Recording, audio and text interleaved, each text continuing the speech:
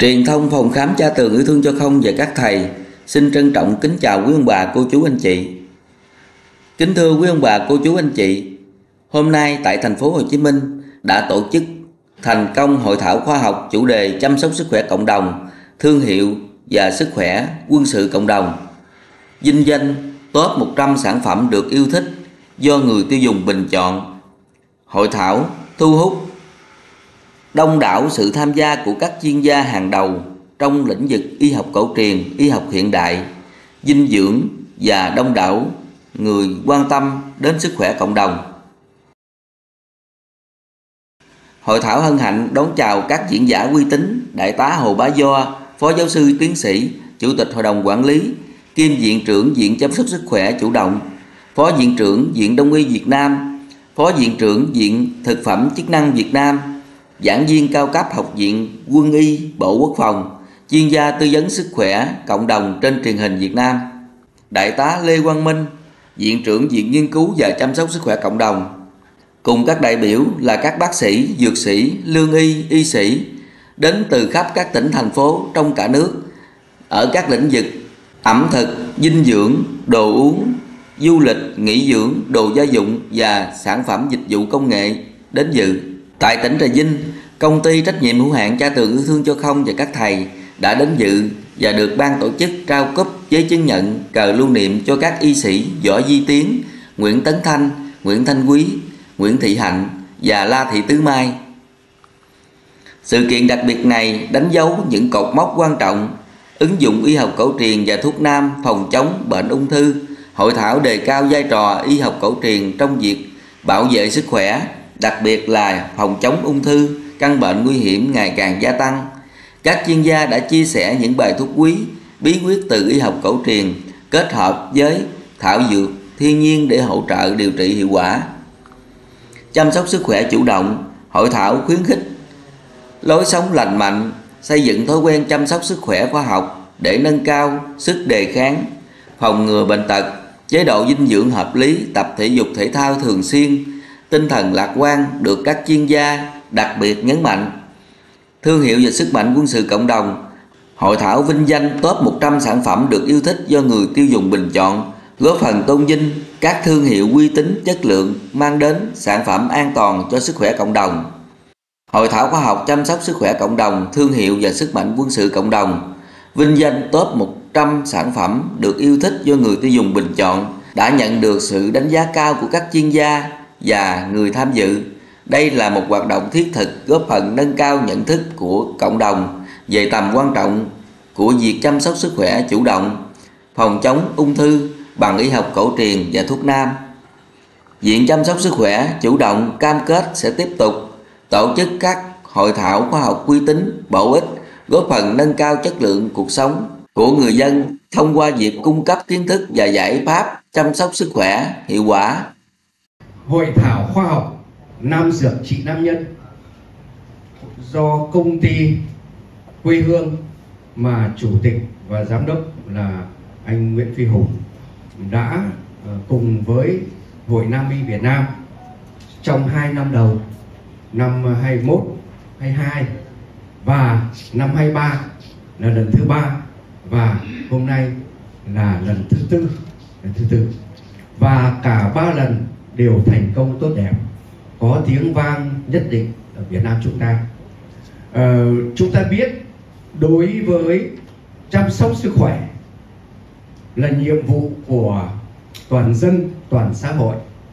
Và đặc biệt trong chăm sóc sức khỏe ban đầu mà Bộ Y tế chúng ta đã nhấn mạnh và Đảng Chính phủ cũng đã nhấn mạnh từ thời lập quốc từ sau khi lập quốc năm 45 và 46 47 Bác Hồ cũng có, đã có những lời căn dặn đội ngũ y tế à, mà ngày 27 tháng 2 hàng năm là ngày thầy thuốc Việt Nam.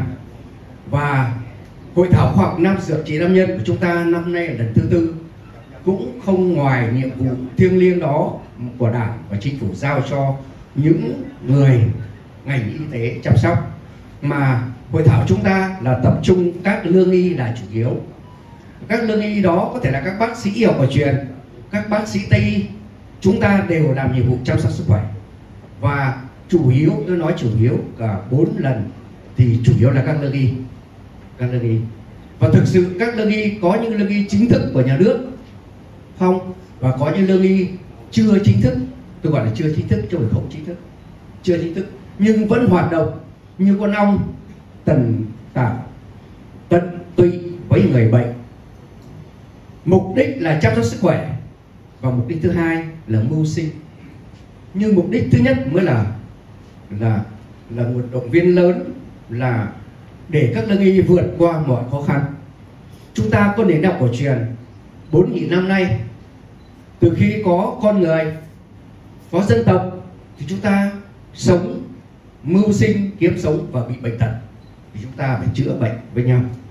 Và nam dược trị nam nhân chúng ta biết rất rõ đây là câu nói của đại danh y đại thiền sư tuệ tĩnh cụ là tên thật là nguyễn ba tĩnh nguyễn ba tĩnh tiến sĩ nguyễn ba tĩnh ạ à. kính thưa toàn thể mọi người thì à, ngày hôm nay con à, rất là hân hoan khi mà được à, phó giáo sư tiến sĩ bác sĩ chủ tịch hội hội đồng quản lý khiêm viện trưởng viện chăm sóc sức khỏe chủ động đại tá hồ bá do và um, trưởng ban truyền thông trưởng ban um, tổ chức uh, chương trình hôm nay là anh nguyễn phi hùng đã gửi lời mời gửi thư mời vinh danh tới uh, quý thầy thuốc uh, ở trà vinh tụi con. Ở đây giống như là một cái niềm động viên tinh thần rất lớn cho cái công trình uh, và công việc của tụi con trong vấn đề hỗ trợ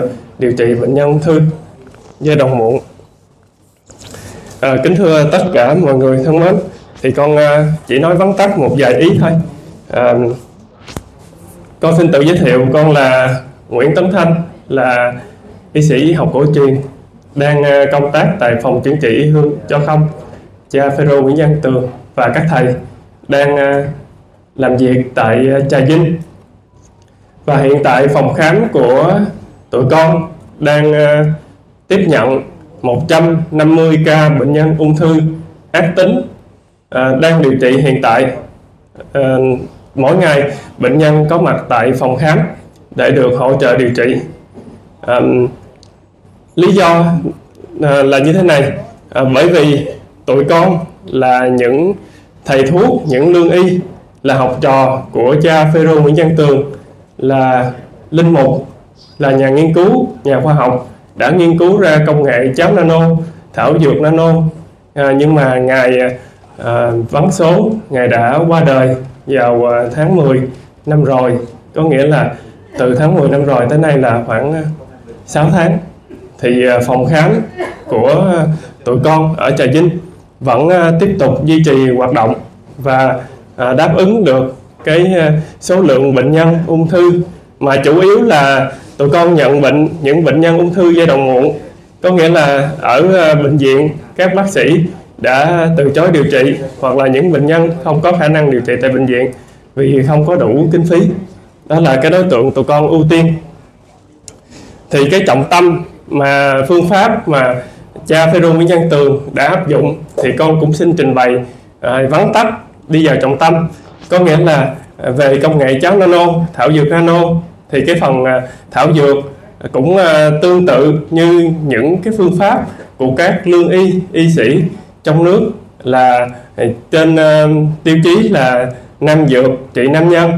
Còn về phần trọng tâm quan trọng nhất đó là phần cháo nano. Thì phần cháo nano đây là nghiên cứu của cha Phêrô Nguyễn Nhân Tường chứ không phải của tụi con.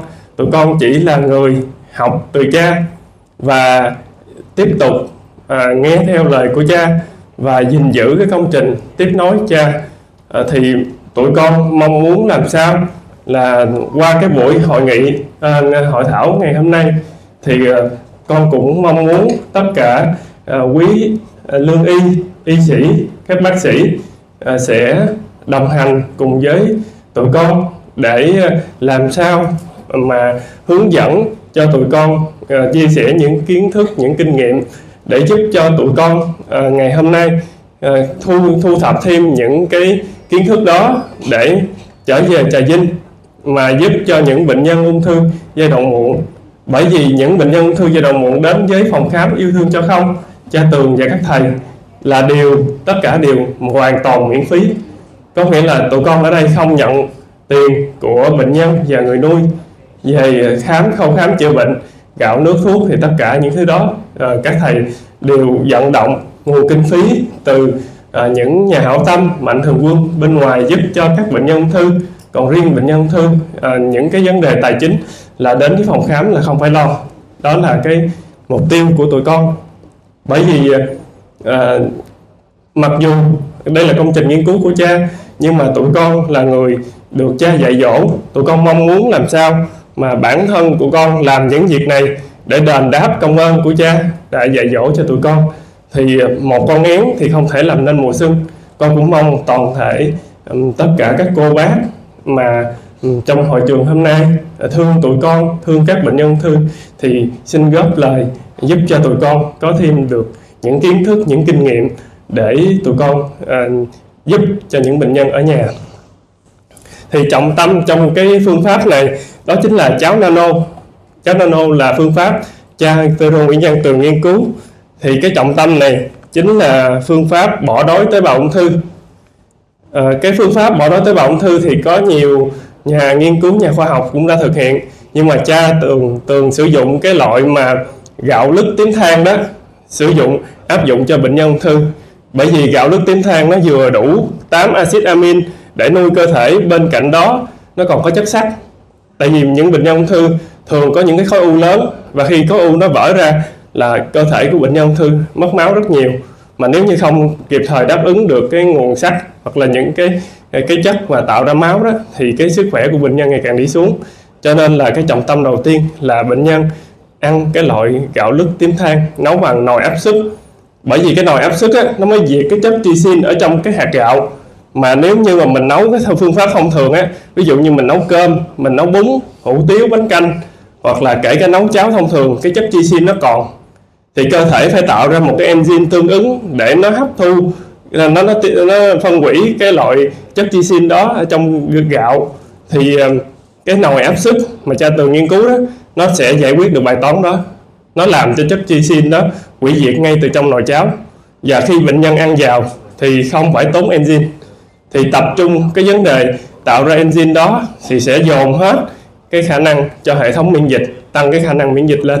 Đặc biệt thấy rõ là những bệnh nhân ung thư giai đoạn mà muộn mà suy kiệt đó, sức khỏe yếu ăn không nổi à, hoặc, hoặc là những bệnh nhân mà à, có cái khối u gan hoặc là khối u ở trong cái hệ thống tiêu hóa đó thì sẽ dễ dàng nhìn thấy được cái cái tác dụng đó.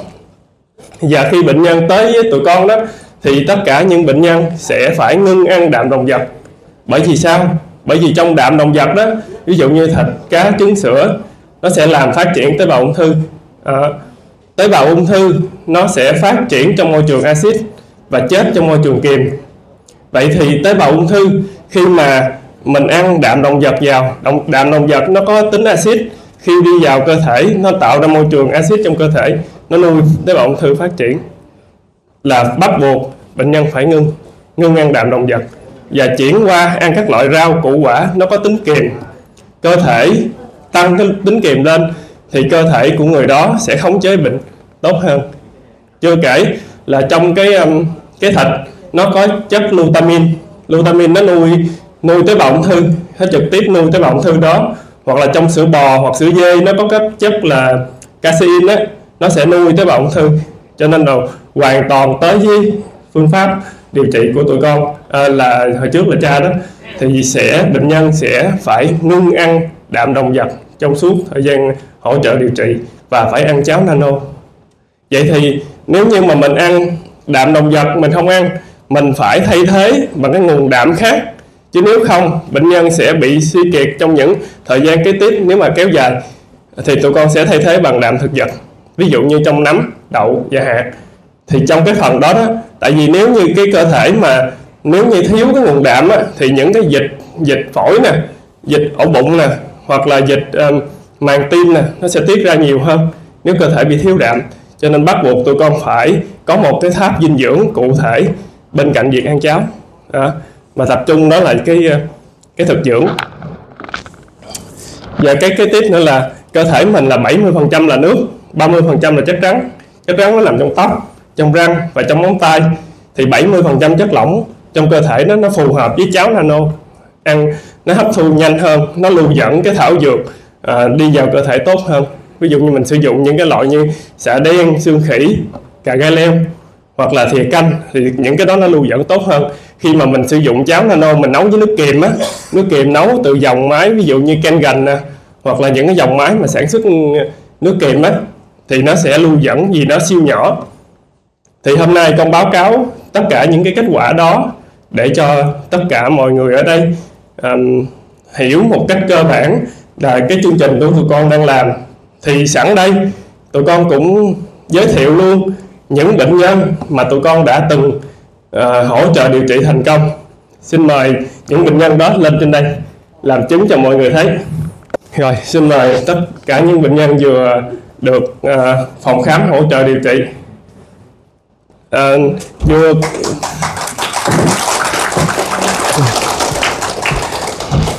tại vì uh, hồi nãy là con nói về cái lý thuyết nhưng đây kết quả cụ thể là đây là những bệnh nhân mà đang đứng trước mặt tất cả quý đại biểu đây là người thật việc thật. Đây là cô cô Lan. Tất cả những bệnh nhân này đều ở tại thành phố Hồ Chí Minh mình và có kết quả sức khỏe. À, khi mà bệnh nhân vào là có hồ sơ đầu vào kết luận tại bệnh viện. Và trong thời gian quá trình hỗ trợ điều trị xong tụi con dẫn cho bệnh nhân đi lên những cái bệnh viện um, lớn trong cả nước hoặc là trở về cái bệnh viện mà bệnh nhân đó kiểm tra sức khỏe trước đó đó để kiểm tra lại cái kết quả đầu vô đầu ra. Vậy thì để khách quan thì con xin nhường nhường cái micro lại cho các vị ở đây để có thể uh, uh, chia sẻ kết quả đó cho tất cả mọi người ạ. Dạ con uh, xin chào uh, tất cả các cô chú uh, bác sĩ ở đây ạ. Thì con tên là Nguyễn Đức Tú, thì con ở thành phố Hồ Chí Minh.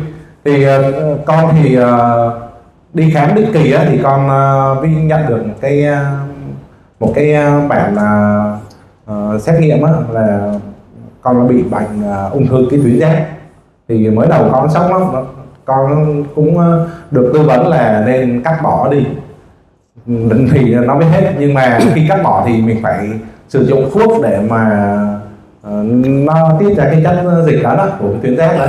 Nên là con không muốn cái việc đấy nên là khi mà con nghe ra thường á thì chữa bệnh bằng cái ờ, uh, cháo nano và thảo dược á thì con mới xuống cha. Lần đầu tiên thì con gặp cha thì cha bảo là cứ, cứ tin tưởng đi chữa hết. Rồi khi mà gặp mấy thầy thì thầy nói là bây giờ là phải ăn chay phải kiêng thịt thì nó mới hết axit thì uh, con rất là tin cái điều đấy. Và khi mà con uh, ăn chén nano và con uh, uống thuốc thảo dược á, thì con thực hiện rất là nghiêm túc. Thì sau khoảng một tháng một tháng sau thì khi khi mà con lên uh, bệnh viện uh, uh, Hảo á, để con uh, xét nghiệm thì uh, cái máu của con á nó sạch luôn. Và tất cả các cái axit rồi những gan nhiễm mỡ rồi trong máu á, nó hết và cái à, cái chỗ cái à, cái tuyến giáp á mới đầu nó là tê giáp à, bốn tê giáp năm á mà nó giảm nó còn tê giáp hai rồi. Thì thì bác sĩ nói là cái này nó trở thành lành tính rồi. Nên là con hỏi là thế thì nó còn quay lại nữa không? Thì uh, bác sĩ biết tư vấn là khoảng 6 tháng thì mình nên, nên đi kiểm tra lại một lần. Thì đấy là một cái rất là hiệu quả thì của con trong khoảng một tháng là nó hết rồi. Nên là con thấy rất là tuyệt vời. Nên là hôm nay con lên đây để con chia sẻ dạ. Vâng, tôi tên là Nguyễn Tòa, sinh năm 1959 hiện ở thành phố Hồ Chí Minh, quận 10 số điện thoại 0942 892 thì à, vào ngày 5 tháng 10 năm 2023 thì bà chị tôi bị ung thư đại tràng. Phát hiện thì ông anh tôi trước đây ở bên Hoa Kỳ cũng có bị ung thư đại tràng, thì mới đề nghị cả nhà đi tầm soát. Thì ngay khi đó tôi tầm soát tại Nguyễn Hữu Chí bệnh viện chợ rẫy. À, đối diện bệnh viện chợ rẫy á, thì xác định rằng ung thư đại tràng ác tính. Và đồng thời tại Nguyễn Hữu Chí mới đưa tôi vào trong bệnh viện chợ rẫy luôn. Thì à, uh, CT, MRI tất cả các cái thì xác định rằng tôi bị ung thư đại tràng. Và đầu tiên dự định là mổ trước nhưng mà sau đó tình phổi gan thì nói là nghi vấn viêm căn gan thành ra bệnh viện chợ rẫy mới sau khi hội chẩn mới đề nghị là hóa trị sau đó mới uh, phẫu thuật thì do thứ nhất là cách đây 2 năm bà xã tôi 7 năm về trước bà xã tôi bị ung thư ngực phẫu thuật và điều trị tại chợ rẫy. Thì sau đó hai năm vừa rồi thì bà xã đã mất. Và chính vì vậy tôi rất là ngại tôi rất là ngại phải hóa trị thì đó, thì tại trước đó khi mà xã bệnh tôi đã đã lên YouTube, tôi đã tìm hiểu, tôi biết về cha tường rất là nhiều. Thì ngay cái đó thì ngày 8 tháng 10 năm 2023 tôi vào phòng khám. Và thì được tư vấn và điều trị, thứ nhất là sử dụng cháu nano, uống nước kiềm, ăn thảo dược. Thì à, đến ngày 15 tháng 12 năm 2023 thì sau khi xác định kiểm tra toàn bộ máu siêu âm và tất cả những cái à, kêu là dấu ấn ung thư ấy, cái chỉ số thì rất là tốt. Và các thầy à, cho tôi được xuất viện. Thì đến nay thì tôi vẫn, vẫn như quý vị thấy tôi rất là khỏe không vấn đề gì. Và vẫn tiếp tục sử dụng cái thảo dược à, này và cháu nano. À. vài lời cái đó xin. Kính thưa quý vị tôi tên là Lê Thị Ngọc Lan, sinh năm 60 tôi ở thành phố Hồ Chí Minh.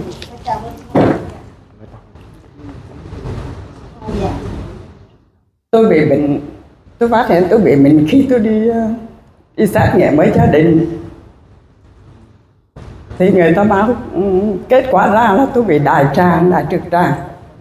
Thì tôi rất là khủng hoảng, tại tôi là người nước ngoài về đây, chứ không phải là tôi người Việt Nam. Tôi ở nước ngoài, tôi về, tôi lấy lại quốc tịch Việt Nam mình thì khi tôi liên hệ đến gia đình của tôi và tôi hỏi bác sĩ của bệnh viện gia đình tôi nên điều trị ở đây hay trở về bên nước của tôi? Thì bác sĩ nói hiện hiện tại y học của Việt Nam rất là tiến bộ cô yên chí không sao hết. Tôi liên lạc về bên gia đình tôi bên kia. Trong thời gian đó tôi đi xét nghiệm khoảng 3 tuần trên gia đình. Họ giới thiệu tôi về bệnh viện 175 gần nhà để hóa xạ trị trước rồi mổ sau. Dạ khi đó tôi nói chung tôi khi phát hiện ra tôi rất là khủng hoảng tên tên tôi không còn. Nhưng mà khi tôi lên gia đình tôi bên kia hỏi là chị có biết cha tường ở trà vinh không? Thì tôi nói tôi chưa biết. Thì em tôi nó nói thì tôi lên mạng tôi coi tôi biết cha trong vòng một tuần lễ thôi. Thì bắt đầu bên bên một bảy năm á, là lên lịch cho tôi nhanh á, để là hóa xạ trị trước. Thì trong thời gian đó khoảng mấy ngày sau là tôi chuẩn bị đi hóa xạ trị thì tôi quyết định, tôi nói với ông xã, tôi bây giờ tôi quyết định, tôi chưa biết trà vinh là ở đâu. Tôi chưa biết cha tường, nhưng tôi quyết định trở về với cha tường. Tôi không biết tại sao mà khi tôi lên mạng, tôi là rất rất là tin tưởng, tôi tuyệt đối. Tôi bỏ bên đây, khi tôi về với một, vừa về đến trà vinh một ngày là, ngày 31 tháng 7 thì mình qua ngày mai là tôi được vô vô trong cha tường chữa bệnh. Thì trên bệnh viện một bảy năm bác sĩ gọi về tôi, tại sao cô không có tới hóa xạ trị? Thì tôi nói bây giờ tôi không hóa xạ trị nữa. Thì tôi theo ông cha, tôi về đó thì sức khỏe tôi không còn, tại tôi không có sức khỏe để mà hóa xạ trị. Tôi về với đó khoảng được hai tuần, tôi gặp các thầy, các cha. Thì sức khỏe tôi lại bình thường, nó rất là tốt. Tôi ở đó, tôi theo cái cái công nghệ của cha. Tôi tuân thủ theo đó. Thì tôi khoảng một một tháng, trong vòng một tháng sức khỏe tôi trở lại bình thường cuộc sống tôi rảnh rất bình thường xong khoảng thời gian, hình như khoảng mấy mươi ngày đó thì thầy cho tôi đi xét nghiệm trên bệnh viện Hòa Hảo. Thì trong chỉ số máu của tôi hoàn toàn là sạch hết hết cái chỉ số, các cái chỉ số bị ung thư. Thì được khoảng khoảng 3 tháng hơn, thì sau khi cha mất thì tôi được trở về nhà. Thì tôi sống tới bây giờ tôi vẫn rất là khỏe, nhưng mà tại vì tôi vẫn giữ theo cái pháp đồ của cha tôi còn tôi vẫn uống thuốc nó như vậy. Thì cuộc tôi thấy sức khỏe tôi rất là bình thường không có gì nữa hết.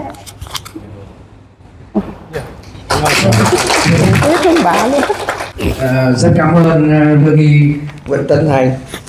Rất cảm ơn. À, chúng ta thấy uh, tuyệt vời không ạ? Xin một chào cổ tay.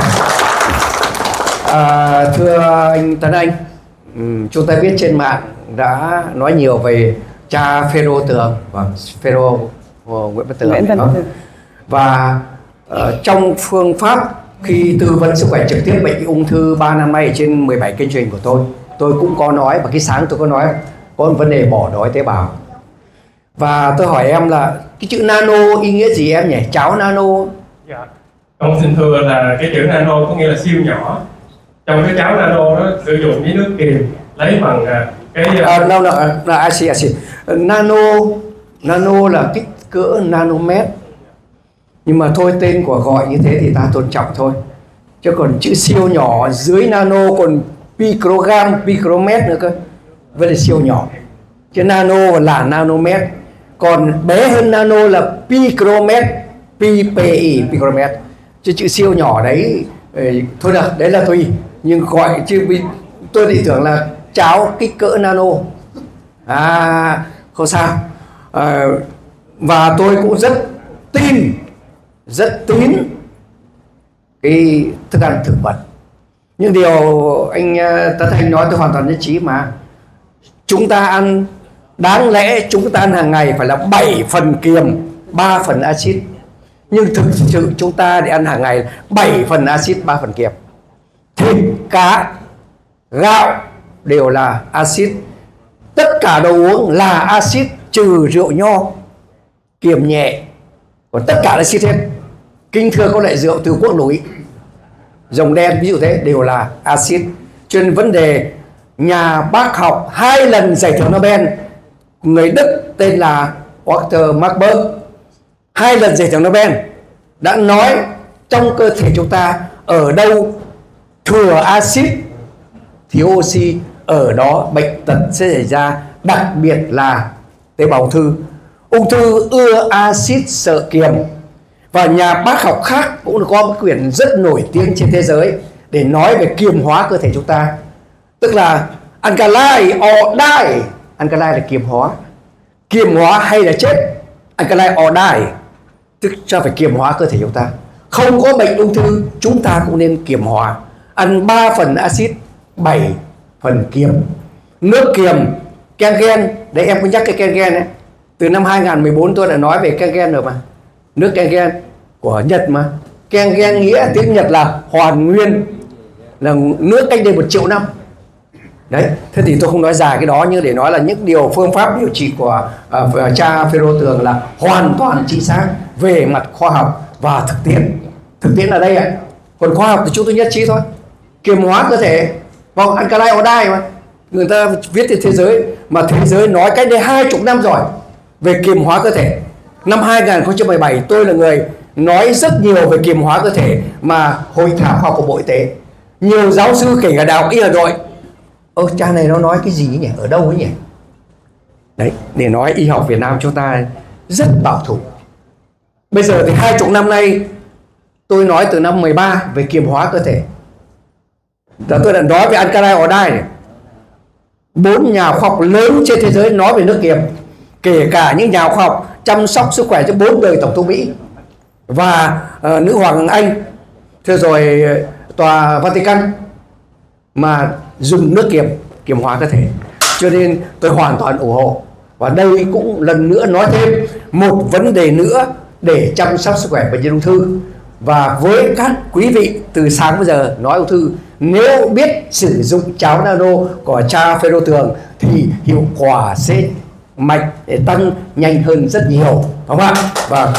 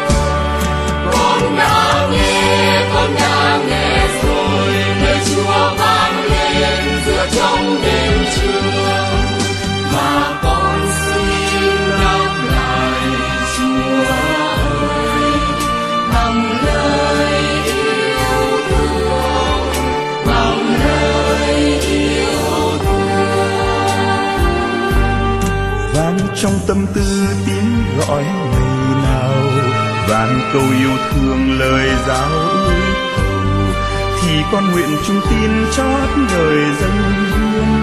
Đây niềm mơ ước đời xin mãi thuộc trọn về cha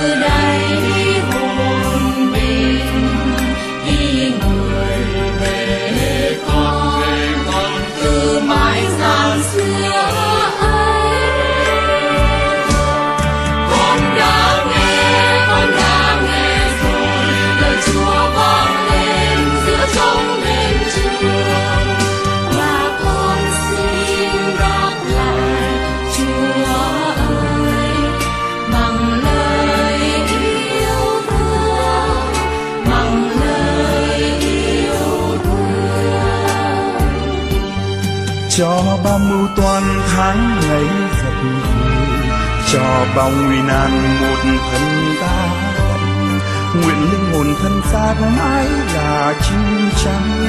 Cho vẹn câu ước thề cho thế trần mùa hồng ân.